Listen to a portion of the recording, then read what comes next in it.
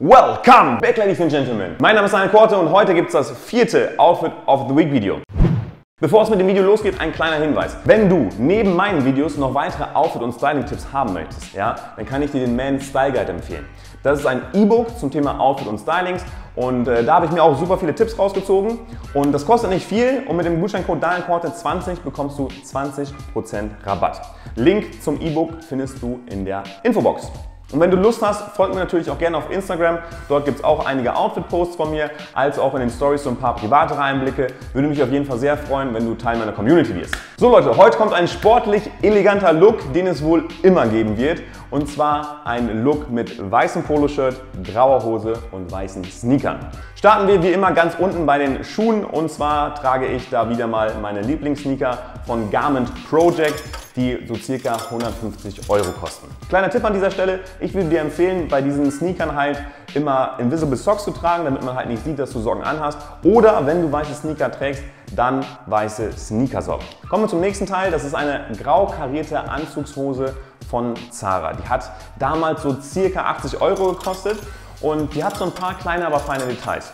Zum einen hat sie eine Bügelfalte, was halt ein bisschen eleganter wirkt, ja, ein bisschen hochwertiger, wenn du so eine Hose mit Bügelfalte anhast. Und die Beine unten sind umgekrempelt, was ich für den Sommer auch perfekt finde, gerade mit den weißen Sneakern, wenn die Hose ein bisschen kürzer ist, sieht das ganz nice aus. Ganz wichtig an dieser Stelle ist einfach, dass deine Hose wirklich perfekt sitzt, gerade wenn du das äh, Shirt, was du oben drüber hast, in die Hose hineinsteckst. Es sieht wirklich viel besser aus, wenn die Hose top sitzt und du keinen Gürtel brauchst.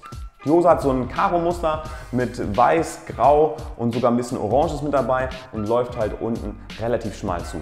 Kommen wir jetzt zum Oberteil, was ich trage. Das ist ein Poloshirt von Uniqlo, kostet so circa 16 Euro. Und das ist wirklich ein cleanes, schlichtes, einfaches Poloshirt ohne irgendwelche Aufdrücke drauf. Vom Stoff her ist das jetzt nicht so ein Stoff wie beim normalen Poloshirt, sondern es ist ein bisschen feiner und ein bisschen luftiger und es macht das Poloshirt insgesamt so ein bisschen feiner. Das Poloshirt sitzt auch super gut, kann ich nur empfehlen.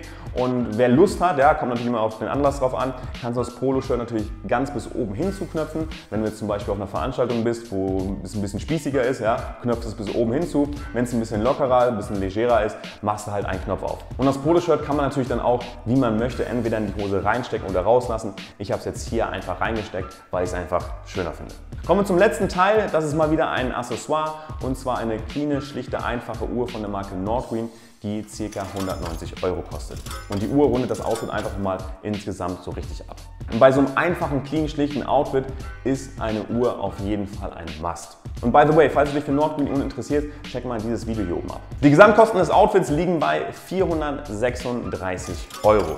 Und da bin ich jetzt mal gespannt, was ihr zu diesem Outfit sagt. Äh, findet ihr das zu spießig? Ja? Also so mit Poloshirt findet ihr es zu spießig oder findet ihr es ganz cool? Und jetzt kommen wir noch zum heutigen Shoutout. Grüße gehen raus an Tobias Schmidtgall. Tobi, vielen Dank für deinen Support hier auf YouTube. Und wenn du auch mal gegrüßt werden möchtest in meinen Videos, dann einfach Hashtag Shoutout in die Kommentare rein oder schick mal eine Message auf mein Community Phone. Nummer findest du wie immer in der Infobox. Einfach Vorname und Nachname durchschicken per WhatsApp und vielleicht wirst du dann schon beim nächsten Mal gegrüßt. So Leute, das war's mit dem heutigen Outfit.